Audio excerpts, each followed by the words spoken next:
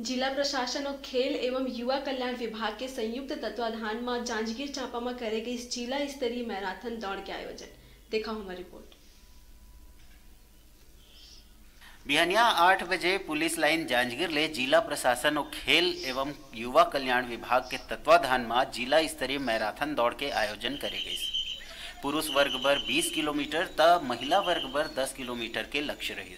जेनमा 124 महिला और पुरुष प्रतिभागी मन भाग लिए दौड़ के शुभारंभ जांजगीर चांपा कलेक्टर नीरज बंसोड़ पुलिस अधीक्षक राजेंद्र नारायण दास और जिला पंचायत सीईओ अजित बसंत द्वारा हरी झंडी दिखा के करी गई प्रतियोगिता में पुरुष वर्ग में बमनेडी के गेंदलाल सिदार और महिला वर्ग में पामगढ़ के कुमारी राधिका कश्यप प्रथम स्थान प्राप्त करेंगे जिन मन पाँच पाँच हज़ार के नगद पुरस्कार दे के सम्मानित करेंगे कार्यक्रम के समापन अवसर में मुख्य अतिथि नंद किशोर हरवंश, जिला पंचायत अध्यक्ष और विकासखंड शिक्षा अधिकारी नवागढ़ द्वारा पहली ले दसवा अवैया प्रतिभागी मन के सम्मान करके पुरस्कार दिए गए। जिला स्तरीय मैराथन दौड़ था, जो हर साल आयोजित किया जाता है जिसमें विकास खंडों से जो विजेता होते हैं, बालक बालिकाएँ, एक से लेकर दस तक बालक और एक से लेकर दस तक बालिकाएँ, सभी विकास खंडों से बीस लोग शामिल होते हैं जिला स्तरीय में।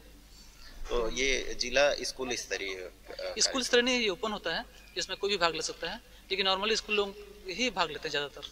स्तरीय मैराथन में जो प्रथम पुरस्कार है वो पाँच हज़ार का है बालक को अलग बालिकाओं को पृथक पृथक से। द्वितीय पुरस्कार है ढाई हज़ार का और तृतीय पुरस्कार है पंद्रह सौ का। बाकी एक से लेकर दस तक पुरस्कार देते हैं।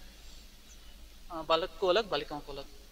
आयोजन के सफल क्रियान्वयन पर व्यायाम प्रशिक्षक, खेल संघ, पुलिस प्रशासन, स्वास्थ्य विभाग नगर पालिका परिषद, शिक्षा विभाग और अन्य कर्मचारी मन के विशेष सहयोग रही।